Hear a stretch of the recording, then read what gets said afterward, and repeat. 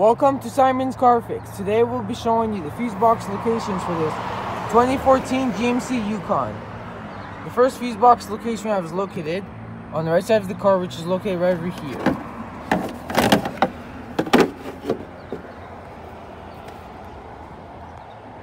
Here are the fuses.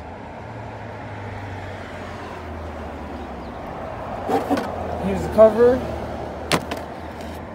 And here's some information about the fuses.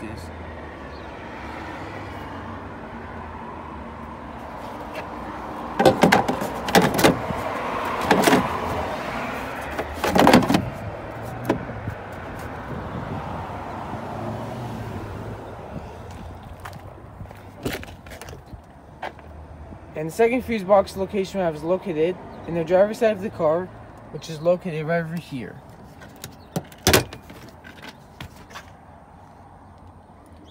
Here are the fuses.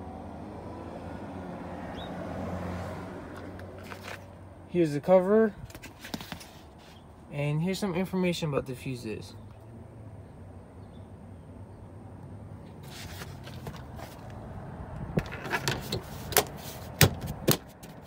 And those are all the fuse box locations for this car. Thank you for watching.